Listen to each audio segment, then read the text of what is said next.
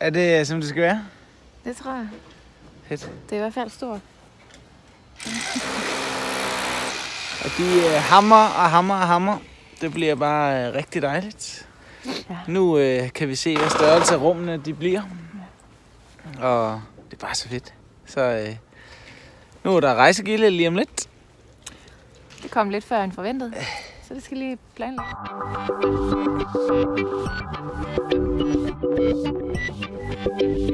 Her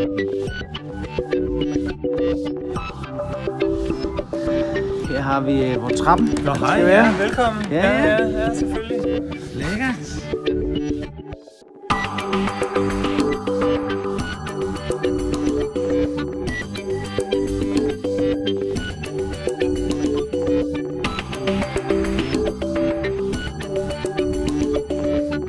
Det bliver da fint. Ej, jeg var så bange for, at det var for småt.